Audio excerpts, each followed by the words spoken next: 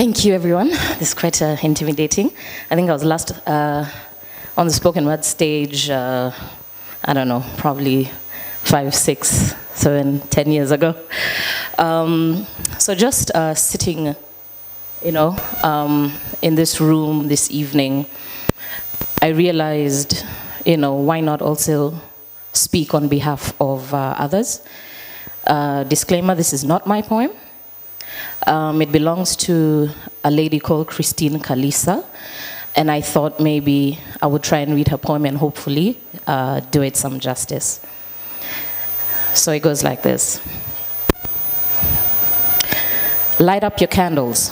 How hard to comprehend that sentence. Let us take this minute of silence to remember.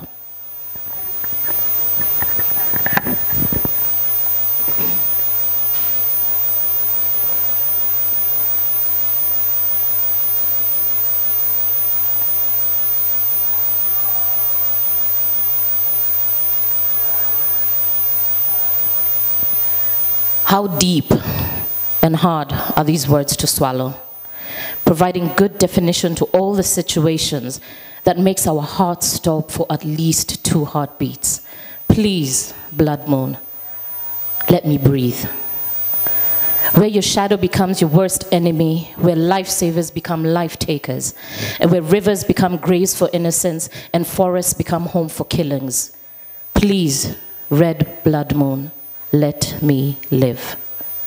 No more mother, no more father, no more sister, no more brother, no more wife, no more husband. Whether you are a hunter or you're a prey, please, red blood moon, let my heart beat. Days and nights, no difference.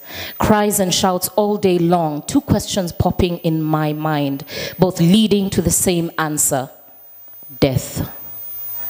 Please, red blood moon, don't let me die today.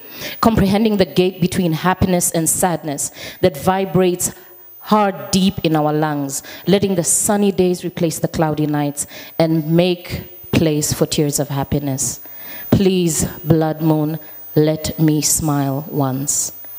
So there comes the rainbow after the darkness and the rain, welcoming Mr. Sun to sew our scattered hearts together.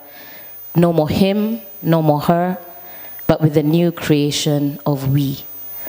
Please, red blood moon, give place for Mr. Sun to shine. I breathe in and out the new air of reconciliation. I breathe back and forth the new era of unity.